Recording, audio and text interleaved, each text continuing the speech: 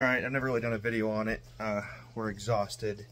At the end of the day, we're going to do the sauna and then the ice bath, so I might try to get a video of each and just show you the saunas and ice bath. Gonna do the ice bath after the saunas. So the ice bath is beneficial because it takes yellow fat and turns it into brown fat, which is better for your body. It also creates heat shock proteins. It's good for swelling, inflammation, yada yada saunas. If you don't know about saunas, you've been sleeping in a cave. But uh, we're gonna do the saunas for 30 minutes. What did I figure out they were at? Like 120, 135 degrees. Yeah, 120, 135 degrees. We're gonna do those now. Uh, not gonna film any of that because we're naked. All right, so we're in the saunas. These are what they look like. I feel like Kanye West in that music video. But yeah, uh, about 12 minutes in, my face will really start to pour sweat around the 15 minute mark.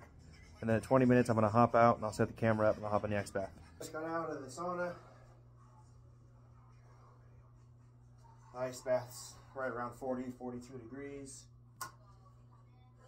I'm looking to do three minutes in the ice bath. And I always wear socks getting in here because if I don't, I can't last more than a minute and a half because it hurts my feet so bad. I gotta wear socks. Oh. Usually don't do the ice bath and sauna the same time, same day or whatever, same same evening. But we worked outside very hard today.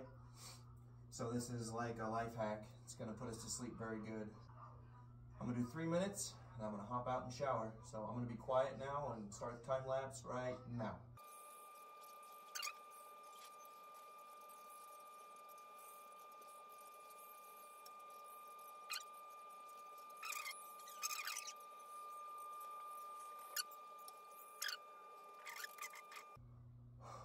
Okay, that's the end of it.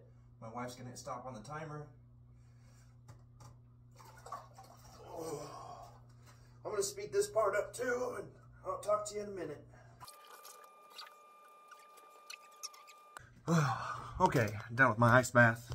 Um, oh shit, the timer.